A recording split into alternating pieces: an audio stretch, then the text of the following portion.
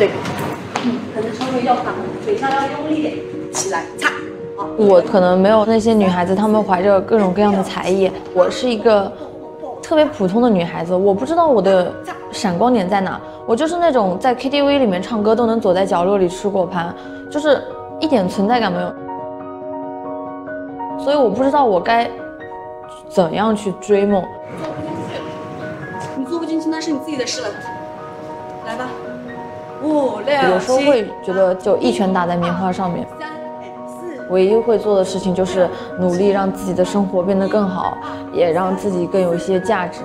六七八一二三四六，或者说每一次的困难，我觉得我熬过去之后，我会特别有成就感。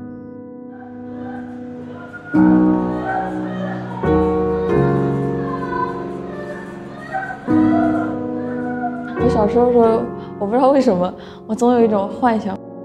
我总觉得，嗯，我生来注定不是平凡的，这很中二，然后也特别渴望外面的世界，因为我觉得这个地方太熟悉了，闭着眼睛都知道每天会发生什么样的事情，这条路就是该怎么走，很想要去看看外面的世界，因为有在电视机上看到一些电影啊，什么电视啊什么，发生在上海、北京，就这种大都市里面，会觉得哇。就发生的每一件事都是我想要去尝试和体会的。二十二十二十二十，你是这样，呃，二十二十，然后这个地方呢是停停一个半拍的感觉。二十二十二十二十，你那个脚打的拍子跟你练的拍子完全是不一样的。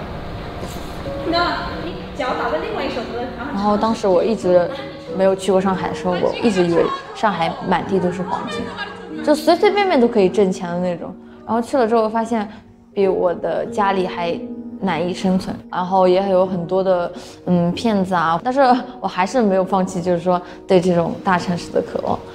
然后有时候我要看到报道说，哎谁谁谁明星出现在哪个街哪个路，我好像跟他们站在同一片天空下的感觉，然后就是很就感觉这种感觉很奇妙。留在这个城市是可以证明你价值的时候。